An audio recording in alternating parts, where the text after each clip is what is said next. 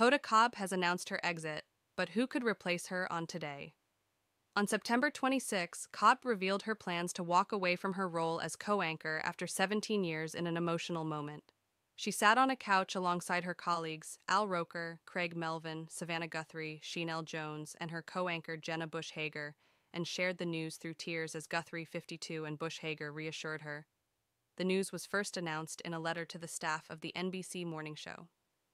I know I'm making the right decision, but it's a painful one, and you all are the reason why. They say two things can be right at the same time, and I'm feeling that so deeply right now. I love you, and it's time for me to leave the show, she wrote.